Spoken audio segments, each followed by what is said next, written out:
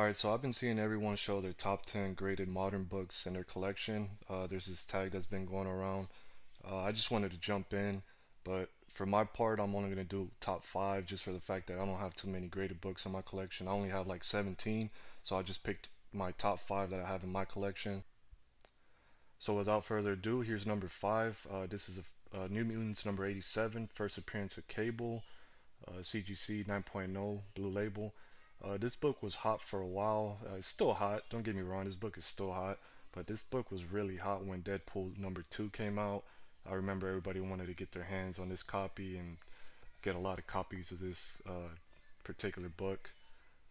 Uh, so, alright, so for my next book, I chose Marvel Action Spider Man number 10.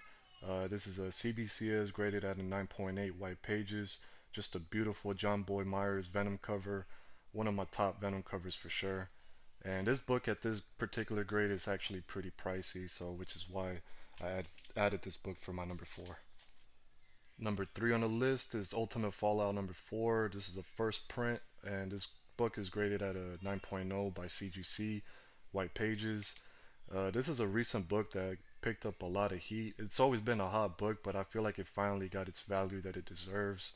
Uh, I don't know, just Miles Morales overall and everything, video games, uh, comic books, action figures, that just been becoming super hot lately.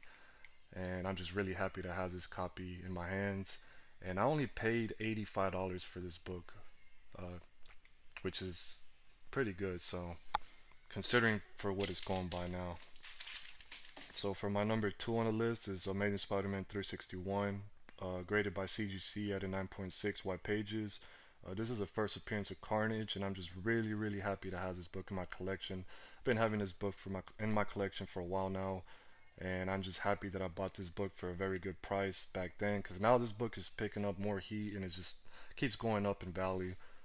And really happy that this particular villain is going to come out in Venom 2. So I'm really excited to see what where that's going to go. Alright, so here's the last book, which is number one on the list, and it's Amazing Spider-Man 252 first black suit. Uh, this book is graded at 9.6 as well by CGC White Pages. And I'm just happy to have this book in my collection. I actually have four copies of this particular cover. And so yeah, so these are my top five graded modern books in my collection. I wish I could have done a top 10, but unfortunately I don't have too many books like I said. And yeah, I hope you guys enjoyed and I'll see you guys next time.